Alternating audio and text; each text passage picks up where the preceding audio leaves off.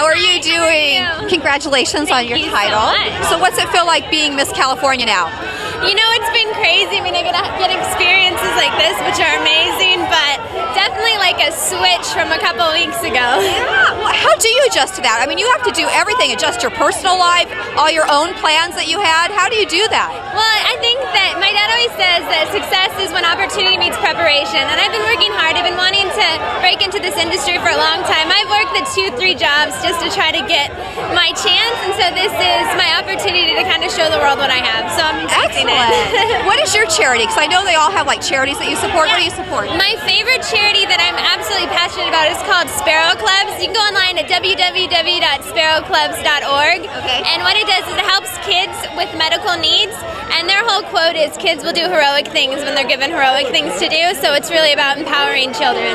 Have you worked with them for a while? I've actually been working with them since I was in high school. So Wow. yeah. It is one that's really close to your heart. I grew up with medical issues, so I think it when you go through something like that, it's a great platform to be able to go in and work with kids who are going through the same things.